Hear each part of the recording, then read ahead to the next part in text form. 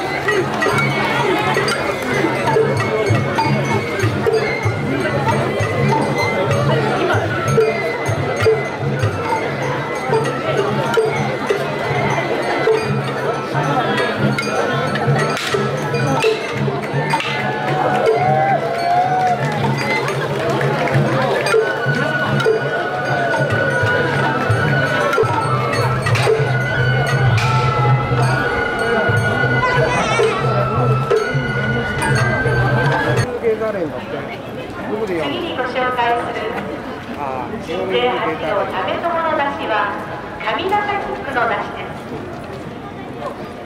だしの建造は今から170年ほど前の嘉永5年でフェリーが浦和に来た前の年に作られ